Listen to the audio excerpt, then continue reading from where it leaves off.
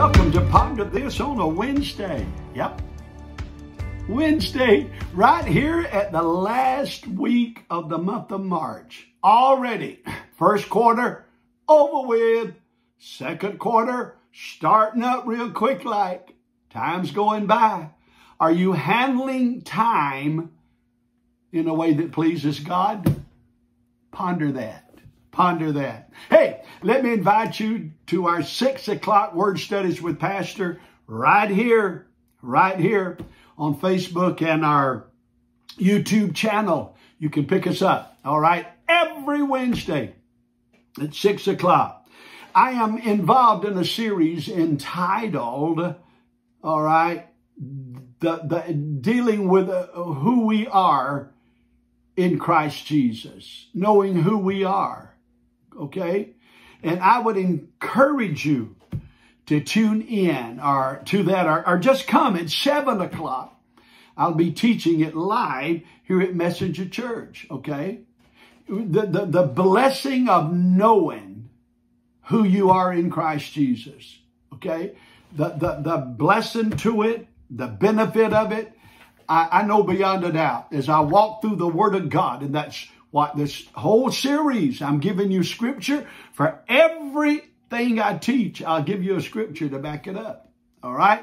So come and be with us or tune in with me if you're from out of the area, live in another country, you happen to pick me up, then by all means, six o'clock. All right, I know it'll bless you.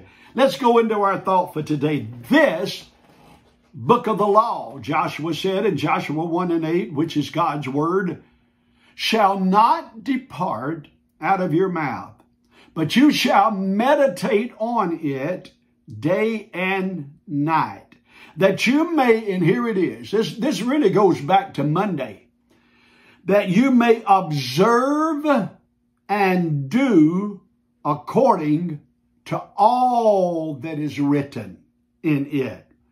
For then you shall make your way prosperous.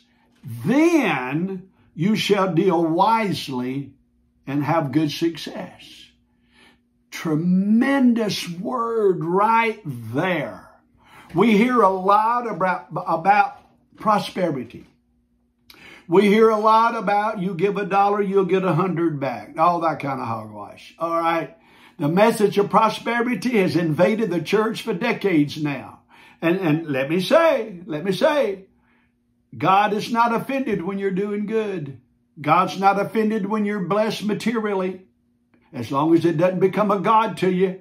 And as long as God's greatness is not judged by the quantity of what you possess on this earth, okay? Some of the poorest people on the planet love God as much as some of the richest, if not more so. Just remember the little widow woman, okay? Didn't have a lot, but she gave what she had. She's the one that got the attention of the Son of God. Not all of those big givers. It was that little woman. She gave out of her less, not out of her more. Think about that one. That's something to think about, all right? But right here, it tells us how to prosper. It said, observe this word of God. That means study it, read it, look at it, listen to it, take it in. But he didn't stop there. He threw in just a two letter word with it. He said, not only observe it, but do it. Do what this book tells you to do. And do it without question. Do it without complaint. And by all means, do it without comparing what you've done to what you gave up. You didn't give up anything. God delivered you from a hellish life of degradation. Sin pulled you out of the very handhold of hell, set you in a position in Christ Jesus that no demon or devil can take away from you, and you talk about what you gave up, God delivered you. He loosened you of a bunch of weight. It's what he did, and you need to be praising God for it. If you want to prosper, you observe and do, because he said, after you've observed it, after you've done it, then you shall make your way prosperous.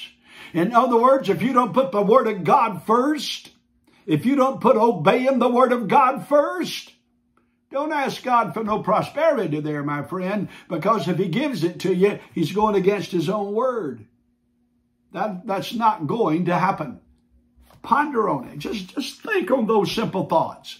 God bless you.